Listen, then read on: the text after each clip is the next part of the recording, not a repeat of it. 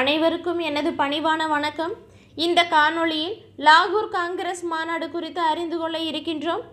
லாகூர் காங்கிரஸ் மாநாடானது இந்திய விடுதலை மற்றும் காங்கிரஸ் வரலாற்றில் காங்கிரஸ் கட்சியின் லாகூர் மாநாடு சிறப்பு வாய்ந்ததாக கருதப்படுகிறது.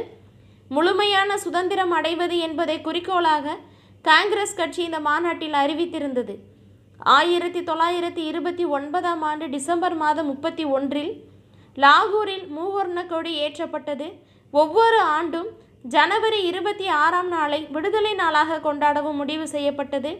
சட்ட மறுப்பு இயக்கம் காந்தியடிகளின் தலைமையில் தொடங்கப்படும் என்றும் அறிவிக்கப்பட்டிருந்தது. எனவே இந்த இயக்கத்தின் ஒரு பகுதியாக காந்தியடிகள் தண்டி யாத்திரையை அறிவித்திருந்தார். அனைவருக்கும் அவசியமான ஒரு முக்கியமான பொருளான உப்பு மீது அநியாய வரி விதிக்கப்பட்டதை எதிர்த்து நடந்த ஆர்ப்பாட்டம் இதுதான். காலனி ஆதிக்க அரசு உப்பு மீது வரி விதித்ததோடு அதன் மீது ஆளுமை செலுத்தியும் வந்தது.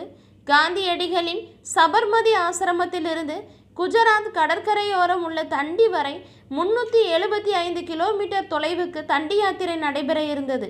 அனைத்து பகுதிகளின் சமூக குழுக்களைச் சேர்ந்த எழுபத்தி எட்டு தொண்டர்களுடன் காலனி ஆதிக்க அரசுக்கு முன்னரே அறிவித்த பிறகு காந்தியடிகள் யாத்திரையாக நடந்து தண்டியை இருபத்தி ஐந்தாவது நாளில் அதாவது ஆயிரத்தி தொள்ளாயிரத்தி முப்பதாம் ஆண்டு ஏப்ரல் ஆறில் சென்று அடைந்தார்.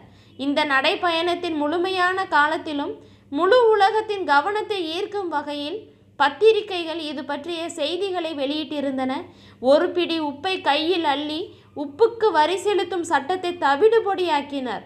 அடக்குமுறை சார்ந்த காலனி ஆதிக்க அரசானது மற்றும் அதன் அநியாய சட்டங்களுக்கு எதிராகவும் இந்தியர்கள் ஒன்று திரண்டு அவற்றை ஏற்க மறுப்பதன் அடையாளமாக இந்த நிகழ்வு அமைந்திருந்தது. குறிப்பாக சொல்வோமேயானால் இதனிடையே டொமினியன் எனப்படும் தன்னாட்சி பகுதி தகுதி குறித்து திருப்தி அடையாத காங்கிரசார் சிலர் முழுமையான சுதந்திரம் வேண்டி கோரிக்கை வைத்தார்கள். ஆயிரத்தி தொள்ளாயிரத்தி இருபத்தி ஒன்பதில் டிசம்பர் மாதம் லாகூரில் ஜவஹர்லால் நேரு தலைமையில் காங்கிரஸ் அமர்வு நடந்தது. அதில் முழுமையான சுதந்திரம் என்பது இலக்காக அறிவிக்கப்பட்டது. வட்டமேசை மாநாட்டை புறக்கணிப்பது என்று முடிவு செய்யப்பட்டதுடன் சட்ட மறுப்பு இயக்கத்தை தொடங்கவும் முடிவு செய்யப்பட்டது.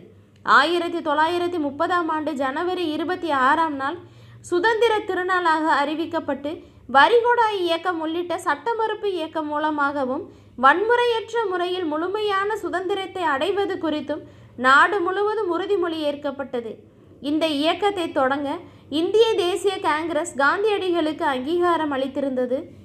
எனவே ஆயிரத்தி தொள்ளாயிரத்தி முப்பதாம் ஆண்டு ஜனவரி முப்பத்தி ஓராம் நாளுக்குள் நிறைவேற்ற வேண்டும் என்ற காலக்கெடுவுடன் அரச பிரதிநிதி இர்வின் பிரபுவிடம் கோரிக்கைகள் அடங்கிய மனுக்கள் கொடுக்கப்பட்டது.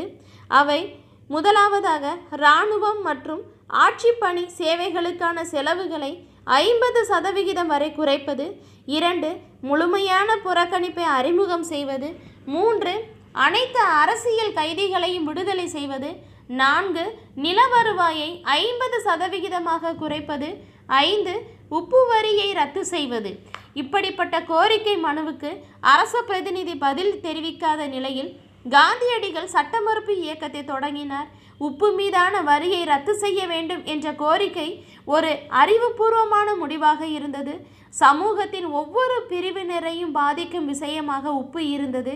பெண்கள் உட்பட அனைத்து பிரிவு மக்களும் பங்கேற்று சட்ட மறுப்பு இயக்கத்தை ஒரு மக்கள் இயக்கமாகவே மாற்றினார்கள். காந்தியடிகள் ஆயிரத்தி தொள்ளாயிரத்தி முப்பதாம் ஆண்டு மார்ச் மாதம் பனிரெண்டாம் நாள் எழுபத்தி எட்டு பேர்களுடன் சபர்மதி ஆசிரமத்திலிருந்து தன்னுடைய புகழ்பெற்ற தண்டி யாத்திரையை தொடங்கினார். இந்த யாத்திரையில் நூற்றுக்கணக்கானோர் சேரச் சேர அது நீண்டு கொண்டேதான் போனது. காந்தியடிகள் தன்னுடைய அறுபத்தி ஓராவது வயதில் இருபத்தி நான்கு நாட்களில் இருநூத்தி நாற்பத்தி ஓரு மைல் தொலைவு யாத்திரையாக நடந்து சென்று ஆயிரத்தி தொள்ளாயிரத்தி முப்பதாம் ஆண்டு ஏப்ரல் ஐந்தாம் நாள் மாலை தண்டி கடற்கரையை அடைந்தார். அடுத்த நாள் காலை ஒரு கைப்பிடி உப்பை கையில் எடுத்து உப்பு சட்டத்தையும் மீறினார். லாகூர் காங்கிரஸ் குறித்து மீண்டும் ஒருமுறை சுருக்கமாக கூறுகின்றேன். லாகூர் காங்கிரஸ் கிபி ஆயிரத்தி தொள்ளாயிரத்தி இருபத்தி ஒன்பது ஆயிரத்தி தொள்ளாயிரத்தி இருபத்தி ஒன்பதில் நடைபெற்ற லாகூர் காங்கிரஸ் மாநாட்டிற்கு பண்டிதர் ஜவஹர்லால் நேரு தான் தலைமை தாங்கினார். முதன் முதலாக பூர்ண சுதந்திரம் அடைவதே காங்கிரசின் குறிக்கோள் என்ற தீர்மானமும் நிறைவேற்றப்பட்டது. ஒவ்வொரு ஆண்டும் ஜனவரி இருபத்தி ஆறாம் நாள் சுதந்திர தினமாக அனுசரிக்கப்பட வேண்டும் என நேரு தலைமையில் முடிவு செய்யப்பட்டு ஆயிரத்தி தொள்ளாயிரத்தி முப்பதாம் ஆண்டு ஜனவரி இருபத்தி ஆறு முதல் சுதந்திர திருநாளாக கொண்டாடப்பட்டது. மூவர்ண கொடி ஆயிரத்தி தொள்ளாயிரத்தி இருபத்தி ஒன்பதாம் ஆண்டு டிசம்பர் முப்பத்தி ஓராம் நாள் விடுதலை சின்னமாக ஏற்கப்பட்டது. அனைவருக்கும் நன்றி.